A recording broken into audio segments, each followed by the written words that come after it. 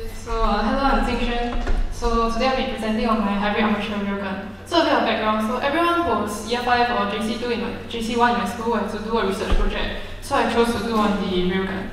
So firstly a background on how railguns work. So railguns consist of a pair of rails with a projectile in the middle. Current is passed from one end to the other, setting up magnetic field and the projectile experiences a Lorentz force and is propelled forwards. So railguns are really cool. Like look at this, it's so much destructive power. The projectile is moving so fast it's breaking the sonic barrier and you can see the flames at the back which are actually plasma due to the very high temperature that's produced by the railgun. So railguns are really awesome. They have very high muzzle velocities compared to their gas expansion guns while containing no explosives so they are very safe. And also they are very low cost because you don't need to guide it, you don't need to calibrate for wind or gravity because it's so fast you just need to point and shoot and yeah, it just reaches and compare that to a Tomahawk missile price, which is really expensive.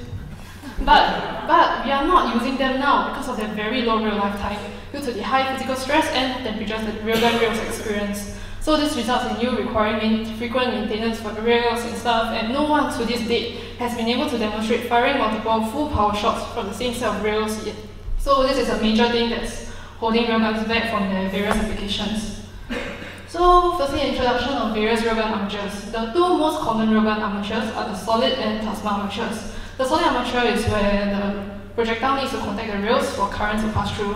And the plasma armature is, in fact, they replace it with plasma, so the current passes through the plasma instead, which then pushes forward a solid, non-conductive projectile. And now I, I will introduce the hybrid armature, which is a combination of both the solid and plasma armature, where you have a small gap that that uh, plasma arc is used to carry the current across.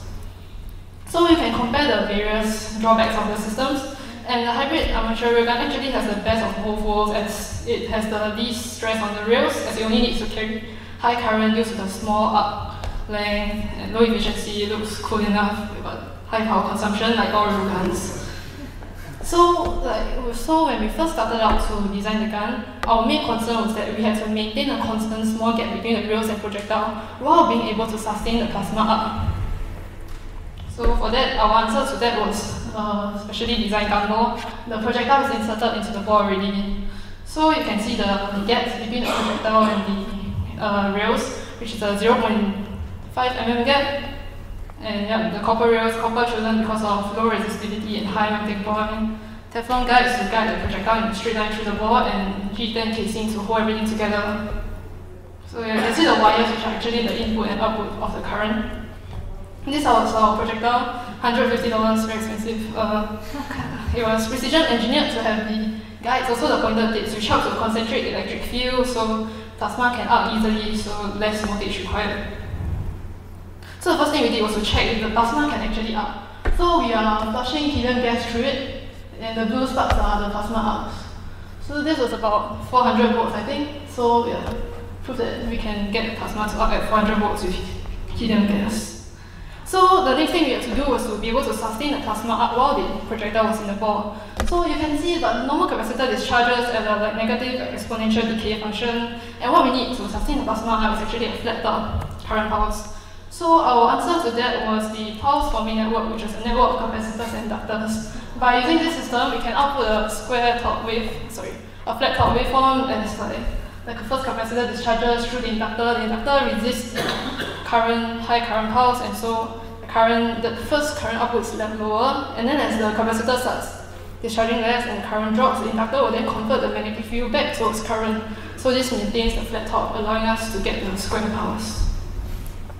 So to construct it, we ran circuit simulations in LTspice 4 and then constructed the circuit. So yeah, you can see our very big capacitors and inductors. The capacitors are rated for 1.6 kilovolts, 200 microfarads. And I don't remember the inductance. So yeah, so now after we made our PFN, the first thing we had to do was to check that it actually works. So this was our, our idea to check that it works. We connect the PFN to a thyristor and then a Hall effect sensor and we discharge it through a 1 ohm resistor. And we have a signal generator to like signal the thyristor. So yeah, sounds great. And then what actually happens is that it discharges into the signal generator which like so but never mind, we got results anyway for the PFN. So we can compare our actual current waveform to that of the simulated current waveform. So our current waveform is very promising. This is about 900 amperes sustained for 2 milliseconds. Yeah. So yes, our PFN works, we can shoot the gun now. So what we thought we wanted to do was we put the projectile in the middle, charge the capacitor, flush helium gas, it shoots. No more switching circuit, no more exploding signal generators.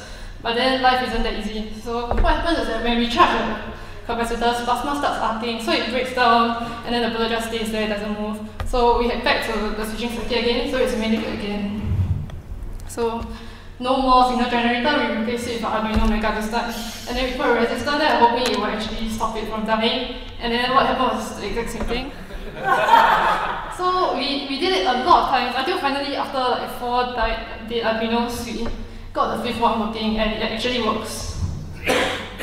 so this is a circuit diagram of the complete railgun system. Over here is the PFN which is charged to 1 kilovolts. And Arduino Uno which takes in signal input from a button and is capable of signaling two uh, amplification circuits. The first which is signaling the thyristor, which then allows the PFN to discharge into the railgun, and the second which signals the gas injection circuit, which will flush the helium gas into the railgun bore. So this is the complete railgun system. Yeah, my paper. So firstly we inject the projectile through the feed port, which is a fancy port to hold the railgun and also as a gas injector. And next, the capacitors are charged. Then we inject, we trigger the gas injector, which flushes helium gas, also pushing the projectile into the railgun bore. And then we trigger the thyristor, allowing the PFN to discharge the railgun. And finally, the railgun fires.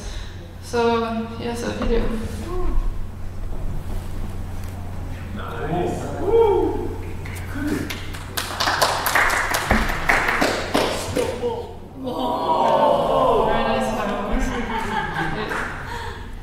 So we use like this to measure the speed of the projectile. We shot it with both hybrid and solid armature. We had a bullet which contacted the rails. So we can compare the speeds and what happened with the solid armature. It just fuse to the rails when you try to shoot it. And the efficiency is uh, not important. so, like, some discussion, so we can see that the hybrid armature railgun experienced far less frictional losses, and also the solid armature fuse to the rails due to the localized heating at the contact point between the rails and the projectile when 1 kilovolt passes through that. So it kind of melt and stuck together, and our small railgun could not provide enough force to overcome that fusion. So you can imagine in big scale railguns how much damage is being sustained by the rails. Also, yeah, most importantly, our hybrid armature railgun can be fired repeatedly with minimal damage to the rails. So over here you can see in the image is the damage sustained by the rails after we fired it a few times, which is quite minimal and it could still fire without any problems. So, like, our conclusion is through this project, we have like proven the feasibility and effectiveness of hybrid armature railguns in reducing rail ablation, frictional losses, and hence allowing us to lengthen rail lifetime and increase the muzzle velocity.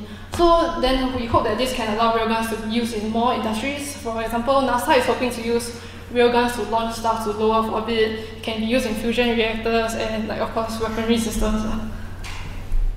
So yeah, what I learned from this project is like, we must respect high power. We burned out a lot of stuff and no nothing ever works on the first try.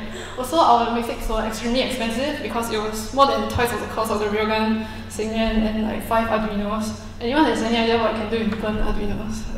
Yeah, it's okay, uh, we all have fun. So, uh, let us end off with a conduct shot.